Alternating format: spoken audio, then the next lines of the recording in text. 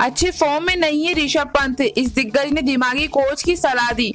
पंत अच्छे फॉर्म में नहीं है और इसी कारण वह सीमित ओवर टीम में लोकेश राहुल से अपनी जगह गंवा चुके हैं। पंत को हालाँकि हाल ही में न्यूजीलैंड दौरे पर टेस्ट सीरीज़ खेलने का मौका मिला था, लेकिन वह विफल रहे थे। ऑस्ट्रेलिया के पूर्व कलाई के स्पिनर ब्रेड हॉक का मानना है कि भारत की युवा बल्लेबाज ऋषभ पंत में बेहतरीन प्रतिभा है और वह दिमागी कोच की मदद से अच्छा प्रदर्शन कर सकते हैं। पंत अच्छी फॉर्म में नहीं है और इसी कारण वह सीमित ओवर टीम में लोकेश राहुल से अपनी जगह गंवा चुके हैं। पंत को हालाँकि हाल ही में न्यूजीलैंड दौरे पर टेस्ट सीरीज़ खेलने का मौका मिला था, लेकिन वह विफल रहे थे।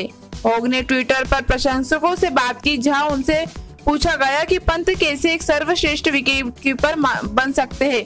होग ने कहा, जब पंत क्रीज पर आते हैं, मैं टीवी चालू कर लेता हूँ।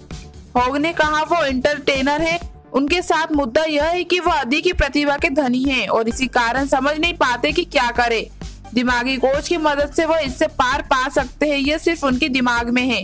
बता दें कि भारतीय टेस्ट टीम के दो विकेट कीपरों रिद्धिमान शाह और ऋषभ पंत के बीच कड़ी टक्कर मानी जाती है, क्योंकि आमतौर पर एक के कारण दूसरे को प्लेइंग इलेवन से बाहर बैठना पड़ता है।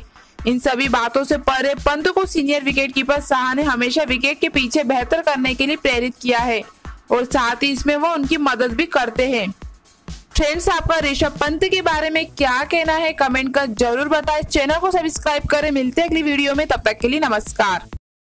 लेटेस्ट अपडेट के लिए सब्सक्राइब कीजिए और दबाइए इस बेल आइकन को।